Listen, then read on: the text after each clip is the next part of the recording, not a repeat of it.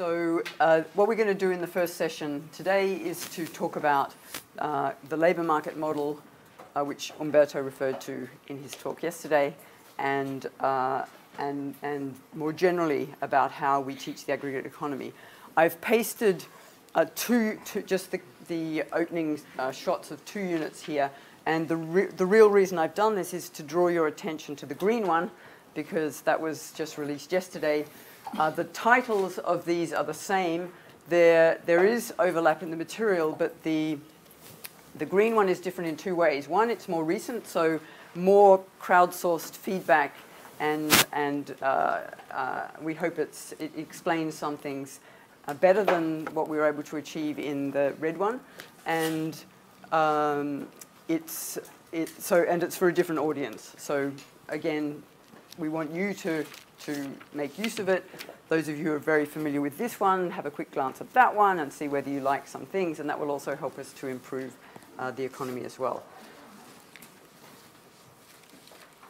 I showed you this slide yesterday, which was to highlight uh, the, the, the way we, in core we work through the material and then uh, to make the claim that this places us in a very good position to teach macroeconomics in, if you like, in a way that's close to the way macroeconomics is done, where we've got heterogeneous agents, we've got these different actors, firms, employees, lenders, borrowers, uh, banks, central bank, government, all making purposeful decisions.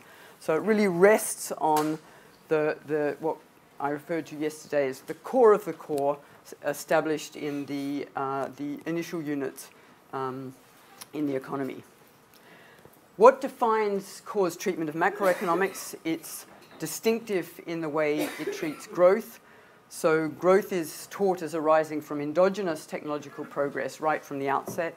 That's in, in a way something that uh, students encounter in the very first unit and it's, it's taken further in the second one.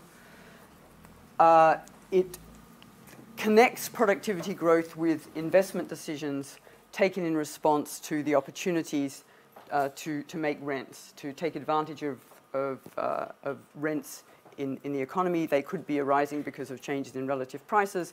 They could be arising for uh, reasons of a new innovation. So this is the way we think about growth. And the, the, the uh, final bullet point is to highlight the fact that we're always thinking about who the actors are in the model, who the actors are and what decisions they're making. So the actors making savings and business investment decisions are not the same people. So it's households making savings decisions, essentially, and uh, uh, firms making business investment decisions. So what that suggests is that we omit teaching using the Solow model, where savings are automatically invested and where there's exogenous technological progress. So there's quite a sharp, uh, you can see a sharp set of decisions that have been taken to, uh, to organize the way we handle growth. I'm not going to speak more about growth, but that was just to, uh, to clarify that. The sec a second uh, defining characteristic is the way we teach about money, banks, and financial instability, particularly in units 10, 11, and 17. I'm using here the numbers from, from the red one, from the economy. Uh, money is endogenous. There's no banking multiplier. This is gradually making its way uh, into the textbooks. They're finally getting rid of the, the very old way of thinking about the relationship between banks and money. Banks, in our treatment, create money by making loans. The central bank sets the interest rate, and financial instability can arise from debt-driven housing bubbles. So that's a very uh, shortened version of uh, how we handle these issues in core. The third uh, dimension that I'm going to spend a little bit more time on is uh, the labour market, business cycles, inflation and macro policy. So this really starts from the labour market model uh, in Unit 6, which is continued in Unit 9. It's also, I should have included Unit 10 there, 13 to 15 and 17. And what we've tried to, to construct in the way we build the model of the aggregate economy is to create uh, a unified model of forward-looking actors in a world of limited information and in, incomplete contracts. So instead of teaching uh, something to do with unemployment and then something else to do with fiscal policy and another thing to do with monetary policy, something to do with inflation, we build these elements up from, uh, in all cases, uh, the micro foundations, the decisions that are being taken by different actors. This has an advantage of giving us direct links to inequality, to, we can, we can I'll show you just a, an example of that, where we can uh, connect the central model, the diagram of the labour market with uh, the Lorenz curve and the Gini coefficient. We have a model of inflation stabilizing unemployment uh, represented or presented as the Nash equilibrium of the labour market, where all actors are doing the best they can given what everyone else is doing. So there's not full, a full employment notion.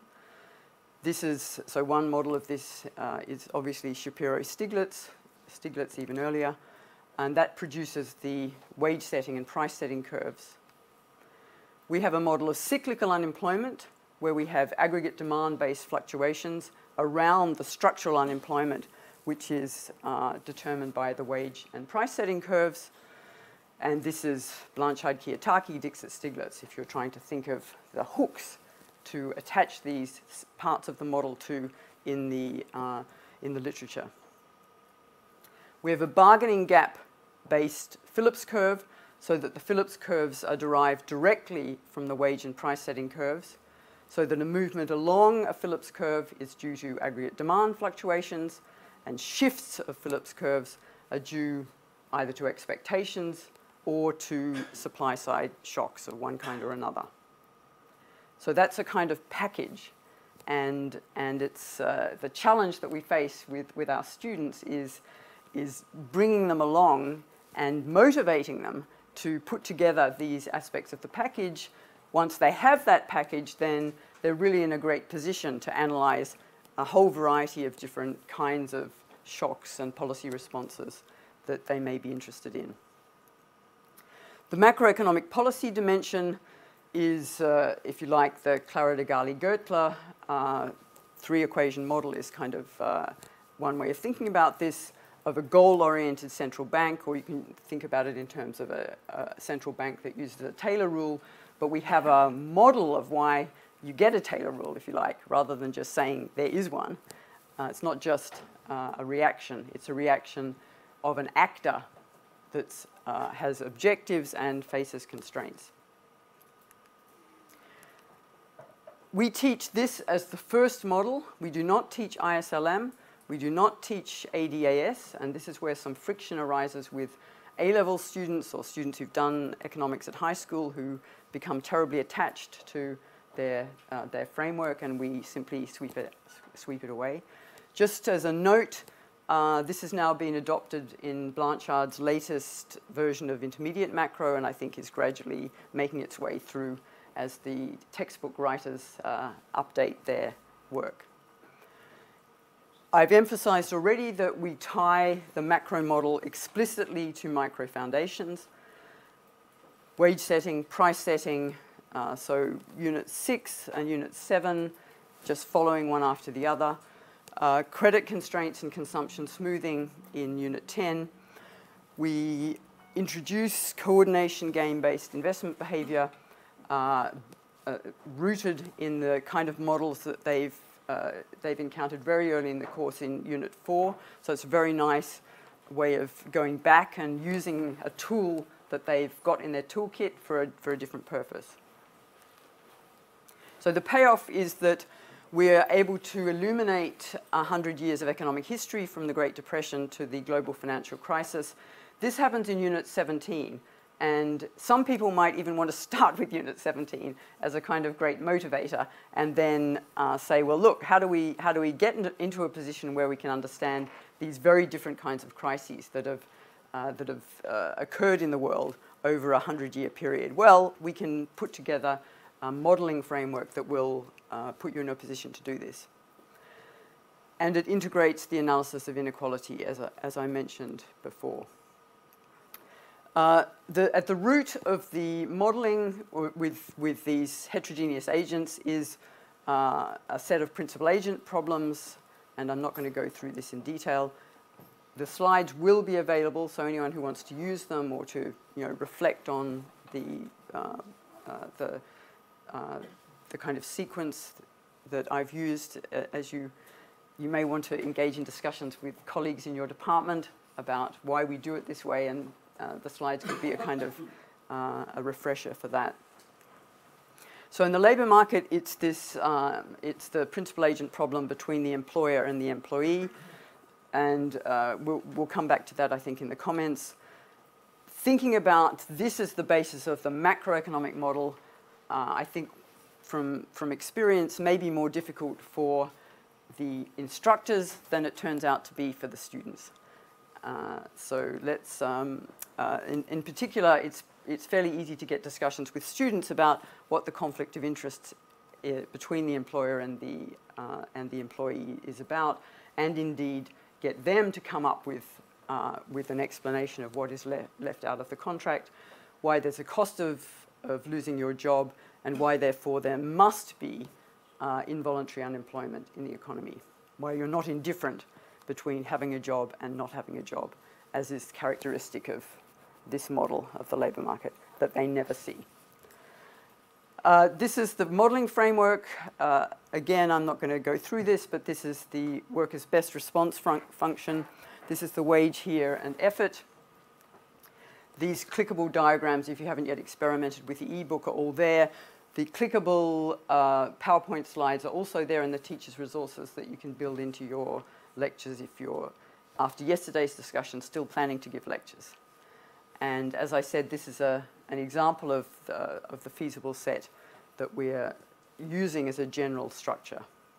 So that's the, the slope of the best response function is the MRT. We then introduce the, uh, uh, the firm's decision, the firm obviously wants to minimize the cost of effort, and we find the, the tangency between these, which are the indifference curves for the employer, and the, uh, the worker's best response curve. Crucially, to get to the macro model, we have to show how these best response functions are related to key elements in, in the macro model that we're interested in. So particularly the level of unemployment and other aspects of, uh, for example, of supply side policy that are going to affect the reservation position of the worker and therefore going to shift the best response function. One uh, thing we do in core, and we are able to do it here, and students, I think, respond very well to this, is we take them very quickly to the research literature. So using the model that I've just set out, we can go to this paper by Lazear using this extremely interesting data from the financial crisis. So it's, it's data from a single firm, but a firm that has plants or offices, actually, they are, in different states where there's different uh, unemployment rates. So what they did was able, using this very granular data, to measure worker productivity. So they could see how the productivity of workers in the same company varied according to local variation in unemployment. And what they found was what it says here, that workers speed up when the economy slows down. And uh, we can directly set an exercise for students that says use the best response function to sketch the results found by Lazear, and you can go through each of these exercises the students are there interacting, engaging with the empirical results in a study that they find quite intriguing. And they're putting to work their, the model very quickly. So we go from conflicts within the firm to economy-wide unemployment and inequality. This is the, uh, the derivation of the wage setting curve, just going directly from the best response function, varying the rate of unemployment as I uh, indicated on the previous slide. So I'm zooming through this, but I just want you to kind of get a feeling for the, the trajectory, and then um, we, can, we can go through some questions in more detail. So the wage setting curve is going to be one of the crucial pillars of the macro model. We go from the micro modeling to the the, the part of the macro model that we're going to use repeatedly, and then immediately to the data and show what a, a wage setting curve, curve looks, looks like using US data. This is in green because this is something that's in the, uh, in the economy, society, and public policy that's not in the economy, and that I think uh, you might want to put in if you're using the economy. Remember, the students are always like to have a surprise, something they've not seen before. And this is a, an application of the model, just showing them how they can use the kind of tools that they've assembled to think about this difference in unemployment between Spain and Germany. So they're thinking about two economies operating in the European Union, facing very similar conditions in terms of competition in product markets in principle. And then we can pick up three of the, of the elements that we can represent in the model. So we can look at the generosity of unemployment benefits, the openness of the economy to competition, and labour productivity. And then we can translate in a, uh, in a schematic way those differences into the, into the, the basic structure of the diagram and come up with an, if you like, with uh, a, a hypothesis about how the factors that we can take account of in the model could account for the difference between Spain and Germany in terms of levels of real wages and unemployment. Okay, so what's shifting the price setting curve? Why is the price setting curve higher in Germany than in Spain? We're looking to the effect of competition and of productivity, and what's affecting the wage setting curve in Germany and in Spain, and we're looking to the role of the generosity of unemployment benefits. So that's the basis for many discussions. So it's a, it's a way of, of bringing the model to the data that you might find useful. This is uh, the direct connection between a macroeconomic model and measuring uh, inequality. And this is something that I don't think uh, people have, have, even perhaps tried to do before, but we can literally translate from this model here where we, we count the number of people in employment. We put the same number here, so obviously there are 10 owners in this economy. Okay, there are 90, uh, there are 90 members of the labor force. And then we can put the unemployed here, which is 10, and we're using the information about the split in productivity between profits and wages to give us the, the kink point on the Lorenz curve. And then again, you can manipulate the model, give it, look at various kinds of shocks and see what the implications are for inequality. Are they affecting inequality through unemployment? Are they affecting inequality through the split of the uh, of output per worker? The second principal agent problem is the one that really allows us to provide some kind of micro foundation for the, the role of aggregate demand fluctuations in the economy. And this is the relationship between the lender and the borrower and the, uh, the, how that produces credit constraints and credit excluded members of the population, and therefore why uh, smoothing uh, is, is, not always possible, and we're going to get fluctuations in aggregate demand, and we're going to have, a, if you like, a micro-founded basis for, uh, for the multiplier. So this is a much more satisfying, I think, way of introducing the role of the multiplier and of aggregate demand in creating fluctuations around the structural or equilibrium unemployment rate than is typically done. we bring the supply and demand sides together.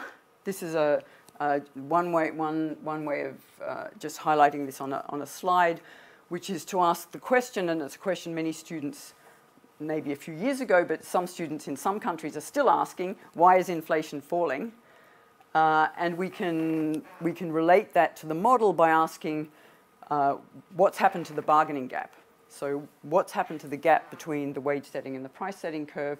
and we can look at explanations that could come from, uh, uh, from stronger competition, and that's obviously a very topical issue. What's happened to competition in the product market over the, over the last decade or so? What's happened to uh, the, the, the position of workers in the labour market? So these are both supply side explanations that, that can account for why inflation is falling, or we can have the, uh, a, the explanation coming from a demand-driven business cycle.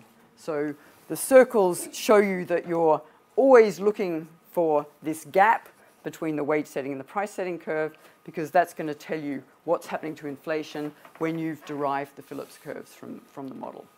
So that's, that's just a, in, a, in, in summary.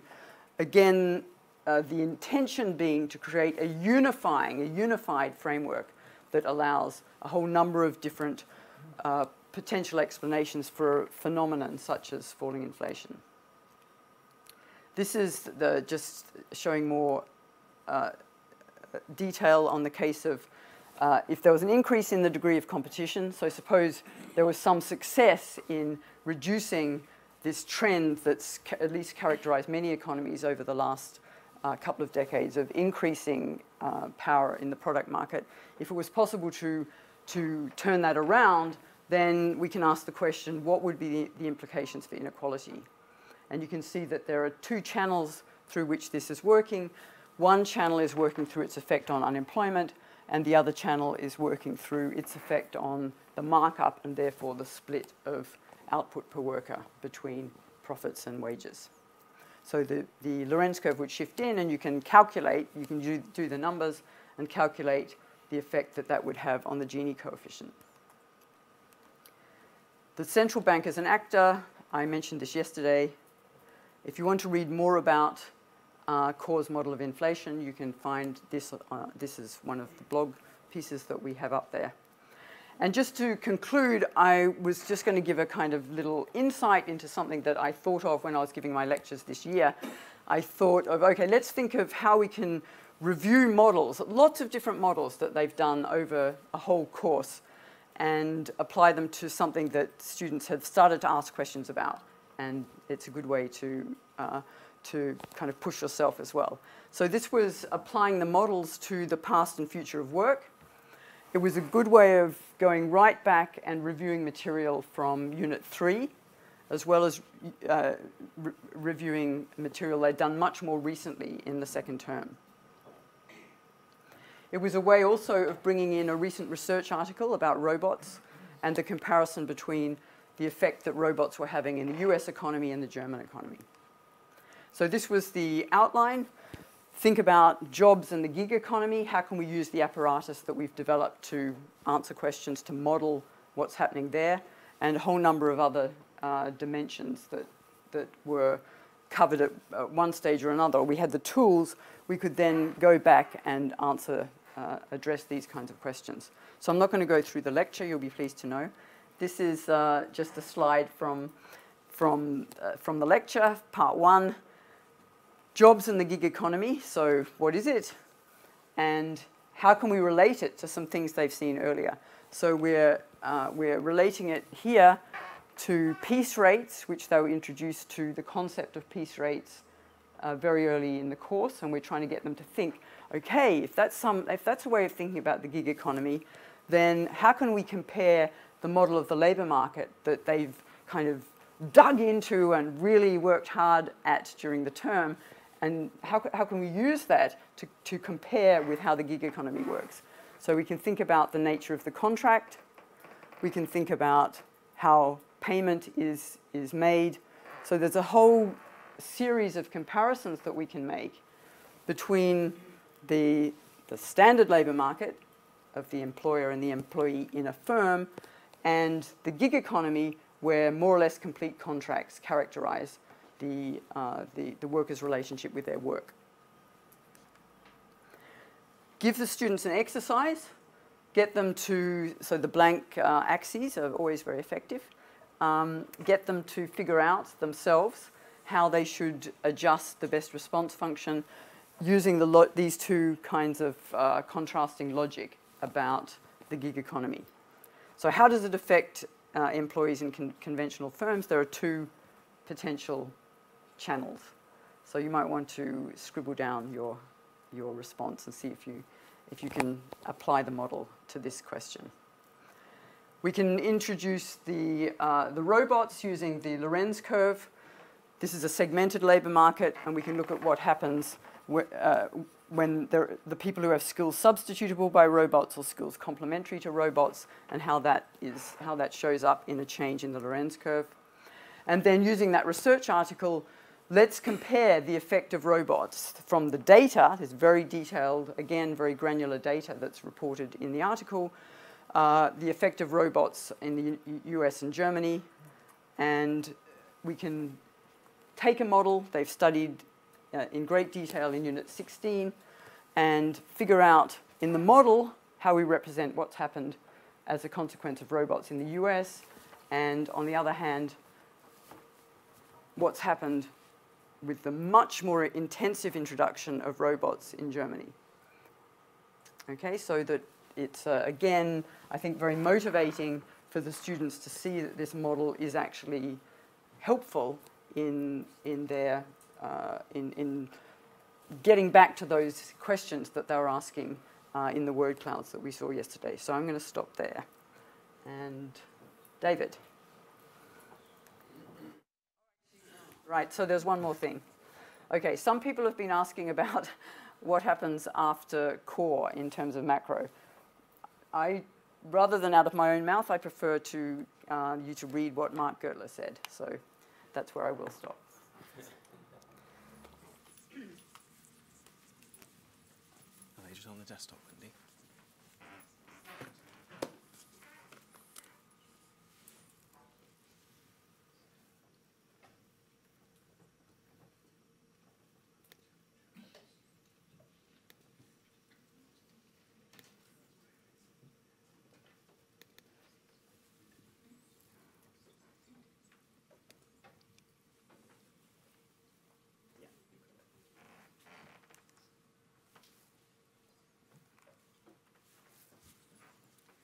Okay, well, good morning, everyone.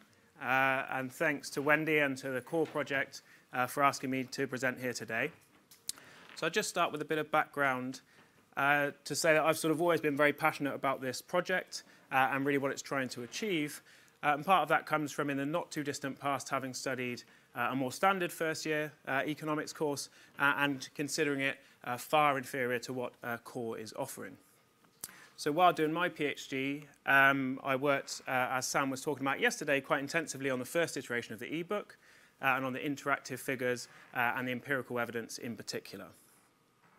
Um, since uh, then, I've moved on to King's College London, where I'm now a lecturer, uh, and for the first time, I've had the kind of uh, the joy and some of the stresses of teaching this material, of lecturing it to a lot of people. so being on the both sides of the fence, if you like. Um, so I'm going to spend my time today talking a little bit about um, some of the approaches I've taken in lectures, some of the additional elements I brought in uh, when teaching the labour market uh, and the agri-economy uh, using this material. Now, I think uh, some of these things I've brought in have been uh, a success, uh, both pedagogically and also in terms of kind of student participation, engagement in lectures, and also their satisfaction with this course. So just to talk you through the course that we offer at King's, which is using this core material, uh, we use the economy as the basis of our kind of flagship first year economics module, uh, Principles of Economics. Uh, this is a compulsory course for a wide range of students uh, across three different degree programs, as you can see there, from a range of uh, academic backgrounds, uh, coming in with very different A levels and expectations of doing economics in the rest of their degree. For some of them, this will be the only economics course they take in their entire degree if they decide to pivot away from that uh, on the BA in political economy or PPE. Um, my lectures uh, were 260 people signed up to the course.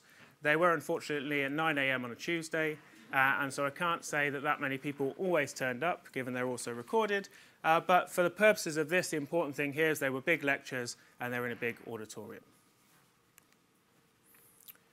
So our module comprises of 22-hour lectures, uh, and we choose to cover here the 16 kind of cumulative uh, core core units, if you like, uh, and then four of the six capstone units.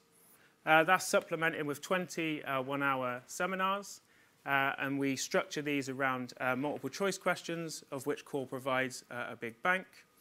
Um, also, part of the exam is structured around that, so students wanted this as part of the seminars. Uh, and then also we do some of the longer exercises from the ebook, aiming to get a bit of discussion going uh, in the classroom and make it a bit more interactive. Uh, so my role in this was actually le lecture in the second semester, uh, which went from uh, Unit 11 to 16 and then four of the capstone units. Uh, so I've covered quite a lot of the units that are focused on the aggregate economy, specifically units 13 to 16, which heavily use the labour market model.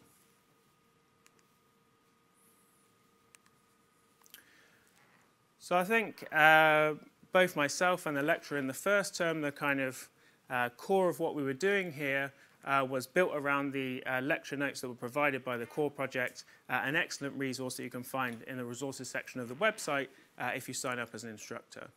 Um, but equally then I was trying to build on what was already there um, to add some additional elements into the lecture. Uh, these are not going to be as uh, technologically advanced as some of the things we heard about in the flipped classroom session yesterday, um, but I think they've been successful uh, and they've worked well uh, in my big lectures. And crucially, probably for people thinking of doing them, uh, they have lower entry costs than some of the things we talked about yesterday. They're very easy to do. So the first thing I did was, uh, at the start of each lecture, I tried to motivate what I was going to be teaching in that unit uh, with a recent uh, relevant real-world example. Uh, and I think students like this because they can then see that what they're learning in CORE is helping them better understand the world around them. And even though, of course, CORE uh, builds in a lot of uh, empirical motivation for what you're learning, and that's part of the new way the textbook is structured, students still very much like it when uh, things they're learning can be applied to, say, things they see in the news, uh, developments in politics and economics. Uh, next, and this is sort of tied into the first one, I try to provide uh, through our virtual learning environment uh, additional kind of newspaper and magazine articles that relate to uh, some of the examples I'm using uh, and the material that we're learning in the unit. Uh, and then also some journal articles uh, where that's appropriate and some of the students that feel that uh, they're a little bit ahead of the material and this is hard uh, or, or happens more often when you've got such a diverse range of students. They like to have some journal articles that complement what they're learning in the class so they can uh, get ahead uh, of the curve. And lastly, and I think this is probably the most interesting thing I experimented with this year in the lectures, uh, and probably what the focus of the rest of this talk is going to be about, uh, is about bringing uh, some discussion-based exercises into my uh, big lectures. Uh, and this is um, something that I think helps students to uh, reflect a bit on what they're learning uh, and then to try and apply that to new cases uh, and really to demonstrate some of the competencies we're hoping they're going to gain uh, from learning this uh, CORE material. Also on a more practical level, these are two-hour lectures. It breaks up the lectures a little bit. It helps with students' participation. And one thing I've learnt uh, the hard lessons that, however sort of inspiring and life-changing my lecturing may be, uh, it may be hard to listen to that uh, sitting there passively for two hours. So what I'm going to do now, and hopefully this will wake everyone up uh, slightly, is to provide uh, a sort of interactive example from uh, Unit 13, uh, which is on economic fluctuations and unemployment. And for the next five minutes or so, you're going to be uh, my set of King's College London undergraduate students. So today we're going to be looking at Unit 13. Uh, and what's really at the heart of Unit 13 is uh, this idea of consumption smoothing households uh, and how uh, this behavior can help stabilize uh, shocks uh, in the aggregate economy. And this sort of harks back to what we, we were doing in Unit 10, which was where we saw that because of this diminishing marginal utility of consumption, uh, that households prefer to consume similar amounts of goods and services in different periods, and they're basing their kind of lifetime consumption plans on their expectations of the future, and specifically their expectations of what's going to happen to their income in the future. And so in line with that, and part of the motivation for today's lecture, uh, is going to be uh, the youth debt crisis in the UK. And specifically this kind of pronounced uh, build-up of debt between, uh, of young people uh, in the economy. We're going to see how this very much ties in uh, to some of the themes in this unit. And we can see the importance really of this issue, given that the head of the Financial Conduct Authority, the UK's financial regulator, is clearly putting this high up uh, on their agenda. uh, uh, at present. So we're going to do uh, a little quick uh, classroom discussion exercise. So I want you to talk to your neighbour uh, for five minutes or so and think about the following two cases. Uh, and this is going to link into the set of slides we've just been through, uh, which is to do with uh, economic fluctuations and consumption. So uh, firstly, we've got one case. Uh, we've got an unemployed or insecurely employed person who uses short-term credit. We can think of payday loans here, uh, high-interest uh, short-term loans uh, to cover their basic living expenses. The second person, and this may seem familiar to you, is an undergraduate student at King's College London, uh, and they're accumulating debt uh, for their fees, for their accommodation, and for their living expenses. Okay, and so we want to think a bit about our own situation and the extent to which uh, we're consumption smoothing. So in each case with your uh, neighbour, just quickly discuss, uh, so is this an example of consumption smoothing in each of the cases? Uh, and is this behaviour likely to stabilise the aggregate economy or not?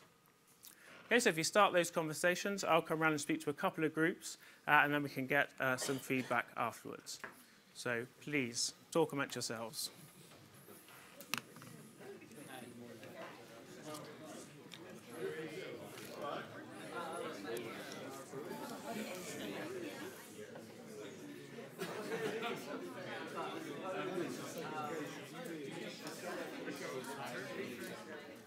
So if we had a bit more time here today, one thing you can do in this type of scenario is to directly get some feedback from the audience.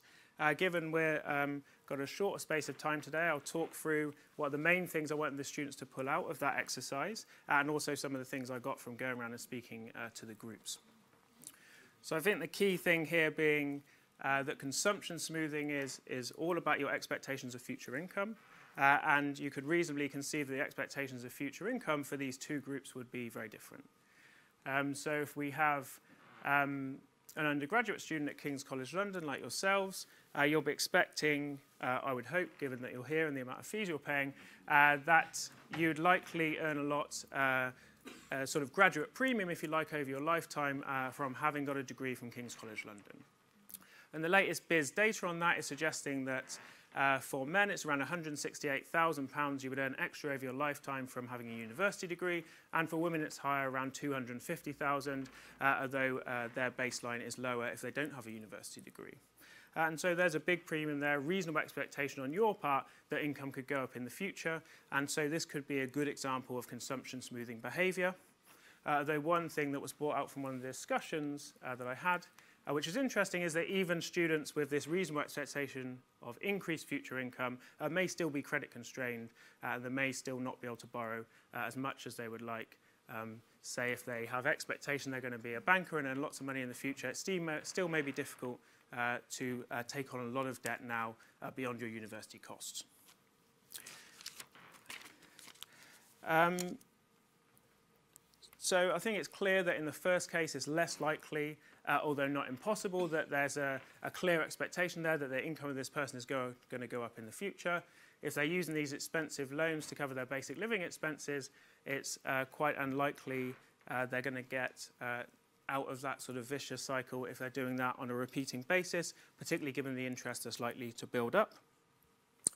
When we're thinking about the effect on the aggregate economy and whether this behavior is stabilizing or not, uh, I think the FCA article that I put on the virtual learning environment uh, makes it very clear that this, particularly in the first case, this type of behavior is thought to increase financial fragility uh, and make it more likely the economy is going to respond negatively uh, when adverse shocks uh, hit households. Um, and I think there, there are many different things uh, you could continue to say on this, um, but it may also adversely affect consumption, which has effects on growth in the economy if people are using a large amount of their income uh, to pay interest uh, on these type of short-term loans. So I think there's a lot you could do with this type of exercise, uh, but I'll leave it now and move on. So to take myself out of the teaching the King students and back into the room with some CORE teachers, I sort of had success with uh, that exercise. That was one of the first ones I tried in response to some feedback from the students that uh, the lectures were just keeping too close to the CORE material. Uh, and from then on, I tried to introduce a couple of these uh, exercises into each of my lectures for the rest of the semester. And just to uh, give some examples from Unit 14 and 15, which clearly cover the aggregate economy that we've been talking about in this session. Um, in uh, Unit 14, where we're looking at unemployment and fiscal policy, I did a couple of different exercises. Uh, so I think Atif and Mian's work on uh, consumption uh, and, uh, sorry, household wealth and consumption during the financial crisis is something students find really interesting. Um, and I provided some of the interesting figures from their work uh, that were just taken from their website and asked them to relate it to the models and concepts they'd learned in Unit 14. Uh, later on in the lecture, once we covered the material on um, fiscal policy, uh, I showed this uh, short uh, YouTube video that Mark Blyth made on austerity, uh, which is sort of him and, and the Brown department have done lots of animations around him while he's talking, which is always enjoyable for the students. And then I got them to relate that to material they're learning, the fallacy of composition, and the, the effects of implementing fiscal consolidation in a, in a downturn, and also to pose some critiques of what he was saying, uh, which is in some ways quite politically charged, thinking about the effects on inequality. Uh, when we come on to Unit 15, which is uh, on inflation, unemployment, and monetary policy, um, Wendy earlier showed those three graphs which showed the price setting and wage setting curves moving around, the bargaining gap that opens up, and the effect that you would have on inflation. So I also showed that slide and taught the students through those. Uh, and then I provide them with some other factors that could shift those curves or change the position of the economy in the cycle, and ask them whether they would cause inflation or not. Uh, get them to talk amongst themselves, and then we do a show of hands. Uh, and from what I could gather, the understanding in the room was pretty good, although you could wait until everyone else would put their hand up and then just uh, join them. Uh, so there, there are some drawbacks of that method.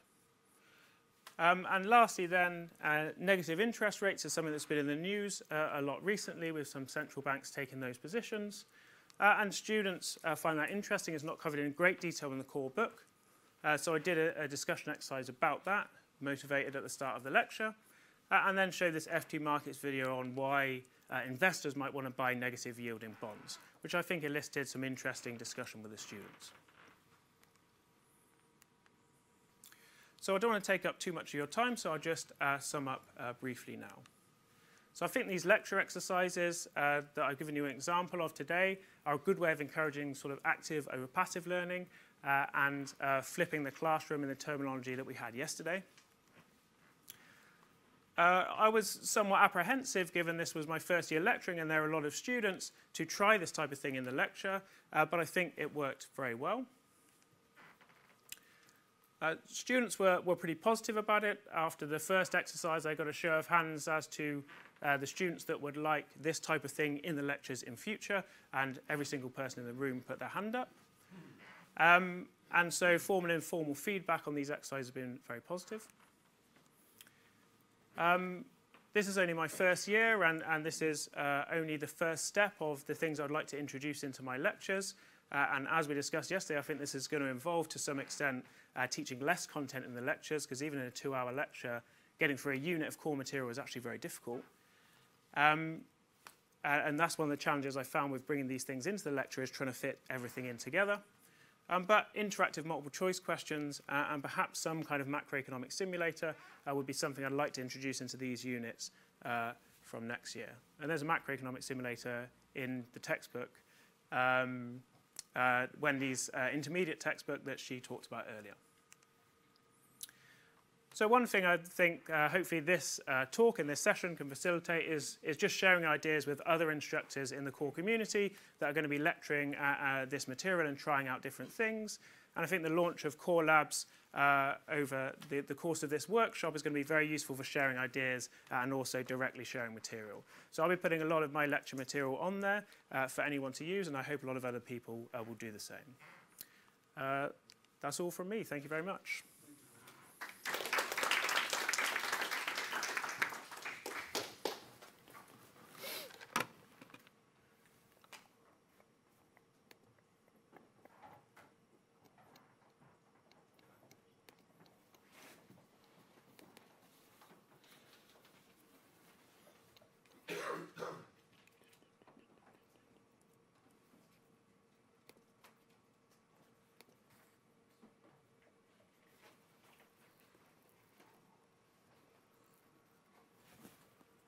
Okay, so uh, hello everyone. For those of you that I haven't spoken to yesterday, I'm Gonzalo Paz Pardo. I'm a PhD student at UCL, and I'm here because I'm, I've been teaching CORE for the, I've been a teaching assistant for CORE for the past three years. So that has been, I've been with CORE since the beta version, even since before we had the, the final version of the ebook. And I've also been, apart from teaching students for all of this time, I'm also been very involved in training new TAs that access this material for the first time. And um, I'm a bit like familiar with all of the struggles that both students and, and, and TAs uh, have had with the, with the material. And I want to focus a bit on, Wendy has already given us like the, the central ideas, but I want to focus a bit on the labor market model, what's new and weird for someone that arrives for the first time at CORE, what's most challenging for students, what's most challenging for teachers. And for those of you who haven't taught it yet, maybe, uh, I will be successful in giving you like a couple of the central ideas of the model so that you, you can have them clear in your mind. So uh, as Wendy was commenting about it earlier, this labor market model is an efficiency wage model. So it's based under the idea that in order for an employee to exert effort and to work well, we need to pay them sufficiently. So uh, the employer is always having in their mind the fact that in order to make the worker exert optimal effort, we need to pay them just as much. Uh, for teachers, this is usually the most different part of the CORE material. Like some other parts, game theory, etc., are probably more standard, let's say. But for teachers, this is very different from a standard labor supply, labor demand type of model that many of us might, might uh, have in mind. But from my experience for students, and particularly for students who haven't studied economics before, uh, it is challenging because it's a model with several moving parts in the determination of equilibrium. There are many moving parts. But it's usually interesting and it agrees a lot with their intuition about how the, how the economy works and their personal experience, and probably even more than what a labor supply, labor demand model does, at least in my experience when I studied it, I felt very dissatisfied with the, the way labor supply, labor demand model uh, uh, was working. So my advice when you're training a new TA or we're trying to bring new people into, into this model, into this part of the model, is to try and leave the old models aside for a second, focus on the material and read it as a student, as someone that's arriving to economics. And then at the very end, again, it's natural to try to be critical and compare with the, with the models we're most familiar to, but at the beginning, I would, I would begin like that. And let me focus a bit on these major challenges that I was, that I was commenting at the very beginning. So the first challenge, Wendy already talked a bit about this, is that uh, the model, the labor market model is based on this labor discipline idea. So Uh, if my worker really, really values the job he's in because he's very scared of losing it because there's high unemployment or because he knows he's been working with me for 30 years and he will never find another decent job again, then I don't need to pay him that a lot to keep him motivated to keep him in the job. When my worker has a lot of outside options and could just cross the door and go to work to a different bank, then I need to pay, them, pay him or her more to, to motivate him. So this idea that your outside options are affecting your decisions, even if you don't take them, might be very obvious for people who, for most of us who are economists and have been working with it for a long time. But it is very new for students. Students struggle to think, well, if you don't quit your job, then why are your, what's happening elsewhere affecting you? So this is something that's that's crucial to make clear. Then the second point is, well, following this argument, that's how we build this one of the central elements of the model, which is this, this wage setting curve.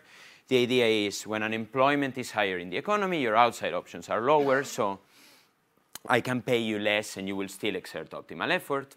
So via this, we establish a lot of equilibrium points depending on how uh, how unemployment is, this is how much companies need to pay workers. So the fact that we are establishing an equilibrium in one model and that the wage setting curve is the set of equilibrium points from that model is again something that's challenging for students, but that I believe is also useful when they're studying any other, any other subject. Many people were worried about how all of this material translates into their further studies in economics. Well, knowing how establishing an equilibrium in a given model translates into a different equilibrium is a skill that if they get it clearly, it can easily be translated to many other, many, like to when they study more micro, even if they study a more traditional, let's say, type of macro uh, later on. So on the one side of the model, we have this wage setting curve that's reflecting these incentives of workers. On the other side, we have the price setting curve, and by talking to people who, who have uh, taught CORE to students, they always tell me that this is one of the things that they really struggle the most about. Some people were like telling me they had to resort to the equations and go through the equations to try to justify it.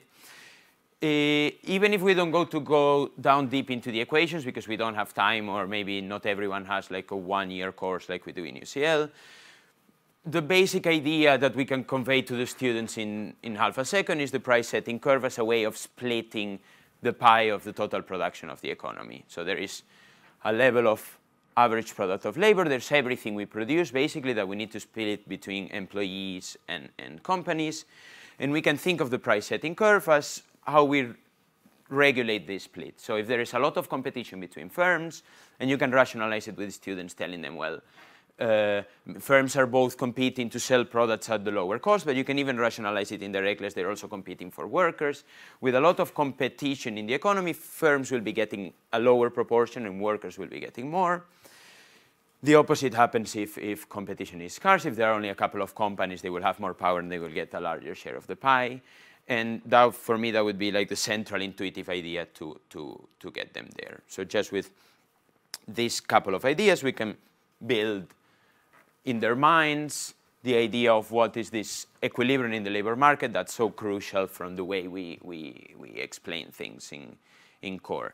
And another thing that's very, that we can translate very clearly to um, to any other of the micro, macro, etc. they do later is the notion of equilibrium. So in the traditional model with labor supply, labor demand, we just see the equilibrium very clearly, but it's a bit, sometimes it's even hard to understand as a notion, why is that an equilibrium, what happens if we are off equilibrium. This model is more full of intuitive content, so it's a bit more open to discussion. What happens if we are somewhere off equilibrium? Uh, what does it mean to be on equilibrium? And focusing a lot on this concept with students is, again, useful for this, useful for, for other economics they, they learn. Yeah. So these are just like what I believe like four major challenges in explaining the central idea of the labor market. And then uh, this, as, as it was being explained before, it's a crucial element for, for the more macro part of CORE, for the second half of the course. And actually, if someone is going to use the CORE material just to teach a course in macro, I would recommend to begin with like a one, even one session on the labor market, drawing material from unit six, seven, nine, to to get the market, the labor market clear and then go into the, into the macro thing. Uh, and what we're going to, we're using this model for in the material is, well, for several reasons, but basically it's going to serve as the supply side of the economy, uh, which will be the counterpart to these aggregate demand shocks.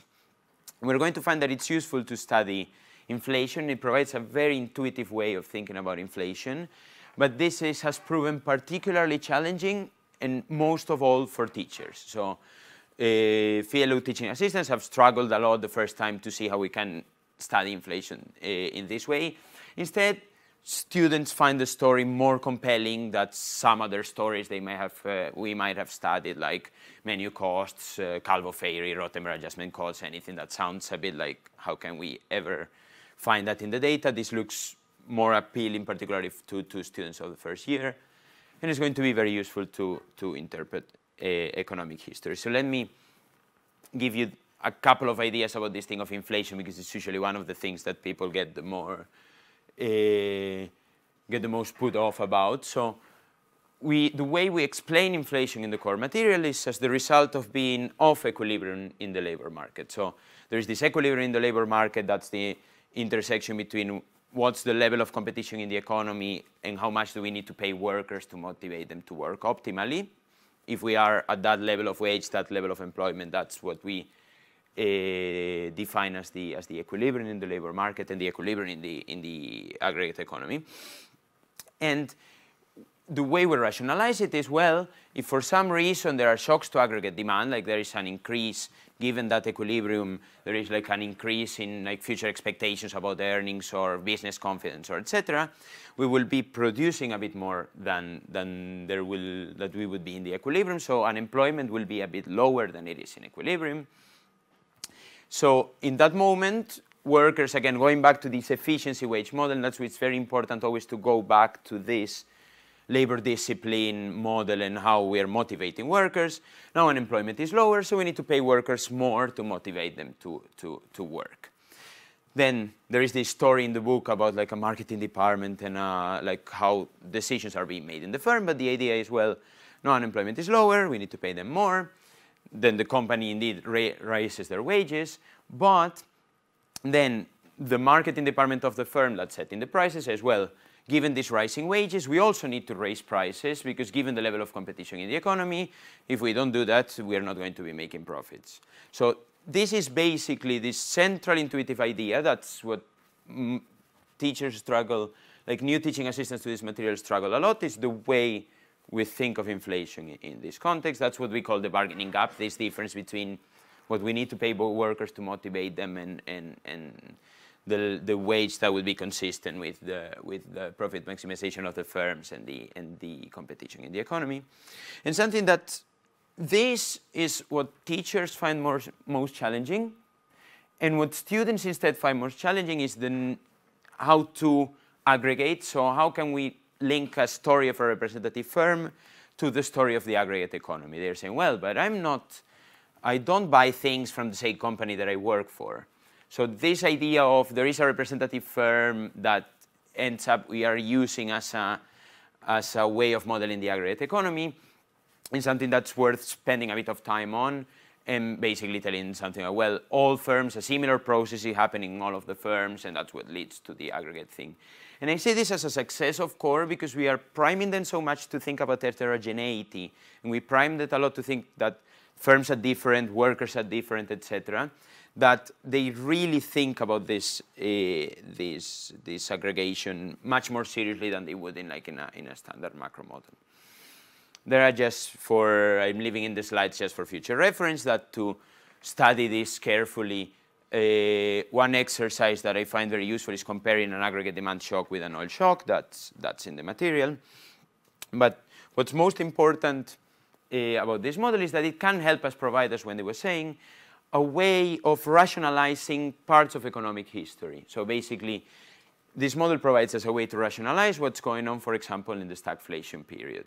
So instead of telling them, well, stagflation happened and no one understood it, which we do when we explain that that's what's going on, we also tell them that there are some models, we, using the models and the tools we have developed, we can provide a rationale to why there is a positive bargaining gap, so why there is, we are generating inflation at the same time that unemployment is increasing. So we can really use these models to try to, to, to uh, explain to them historical periods, and that's what Unit 17 is, is mostly about.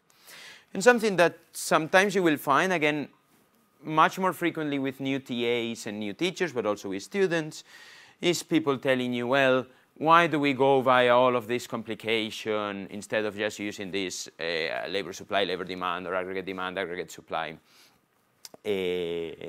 model that I have learned in the past? 90% of the time, you will find that this is just because people are resistant to change from a model that they have already learned because they made an investment on it. 10% of the time, they will have a good argument in favor of the old models, and that's fine, and that's something we are happy to encourage. This slide I stole from one of Wendy's slides, but I'm just leaving it here for your future reference. In case someone's asking, why are we modeling it this way? This is just a couple of, of points that explain a bit why we do things the way we do, and that might be helpful when, when with students or with, with uh, teachers. You will have these slides, so, so that stays there. So just to summarize, because I believe we're running a bit out of time already, uh, the model, this model of the labor market that looks ex ante very difficult is just based on a couple of key ideas. Uh, we find, or I have found in over these years, that it connects more clearly to, with students' intuition that you would expect in the very beginning. That it is, you, sometimes it's with teachers and like TAs and people who will be running the tutorial sessions that need to prepare a bit more to do something different. And collaboration is key. So in UCL, we run weekly meetings to discuss the model and what we're going to explain the next week. This is something that if you have the resources to do, I, I would encourage you to do so. Uh, the fact that things are more related to students' intuition than, uh, than the labor supply, labor demand model makes classes more participative and more open than, than, than, you, would, than you would expect at the beginning. And finally, in a positive note, students find it interesting and students understand it faster than we think, or at least it is not differentially more challenging that a standard model would be for them, because in the end, the most things that they find most difficult, like opportunity costs, aggregation, equilibrium, etc., are just central features of economics that we are teaching anyway. So, uh, so that's the key challenge, and it's not that we are adding a much bigger additional challenge for them. Yeah, and that's it. So, uh, thank you very much. Leave it to the chair. No, I'm just saying. Um, um,